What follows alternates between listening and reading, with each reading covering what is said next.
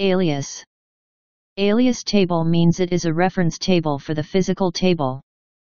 When you create any alias table, then the alias table will inherit all the properties of the physical table. We cannot modify the alias table properties, like 1. Cannot rename the column name. 2. Cannot change the column data type. 3. Cannot delete the columns.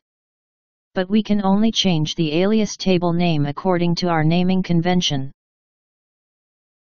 Steps to create alias table.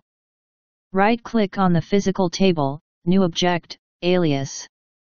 Give the name for alias table. Then click on OK. Advantages of alias table OBIEE does not support circular join in BMM layer, so we can overcome from this problem by creating alias table for one of the table in that circular join. OBIEE does not support self join, so we can overcome from this problem by creating alias table.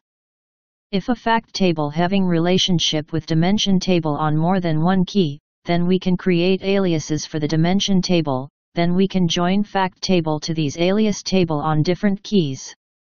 Example, consider, there is an order table, it has two columns in that, namely, order underscore date and required underscore date, both columns have to be joined to the time dimension.